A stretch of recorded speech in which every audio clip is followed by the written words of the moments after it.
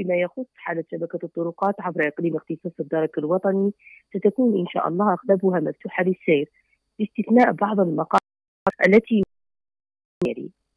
بولاية تلمسان الطريق الوطني رقم سبعة ألف في شطره الرابط بين بلديتي مصب المهيدي وباب العسا. بولاية قسنطينة الطريق الوطني رقم 20 في شطره الرابط بين بلديتي قسنطينة وبن باتيس. كذلك ولاية عين تيموشنت الطريق الوطني رقم 108 في شطره الرابط بين بلديتي حمام بوحجر وشعبة الحمد.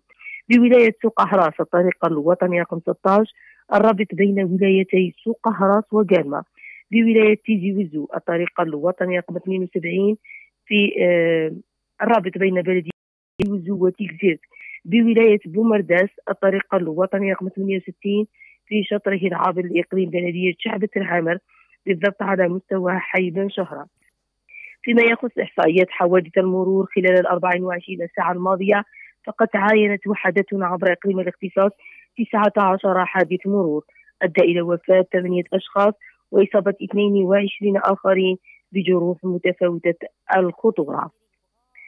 الولايات التي سجل بها أكبر عدد من هذه الحوادث هي ولايتي البويرة والصيف بثلاثة حوادث كذلك ولايتي الجزائر والابتلاء بحادثين لكل ولاية.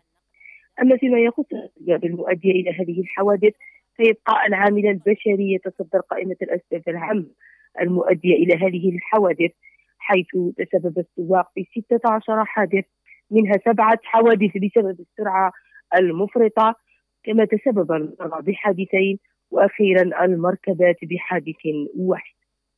لذلك ندعو دائما مستعملي الطريق توخي السياقة المتزنة عدم الإفراط في السرعة احترام الأولوية وملازمة اليمين الابتعاد عن المناورة والتجاوز الخطيرين. هي أهم النصائح التي نقدمها لسلامة مستعملي الطريق وكذا سلامة الجميع.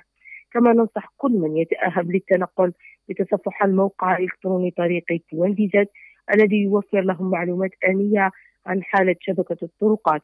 وكذلك الاتصال بالرقم الأخضر 10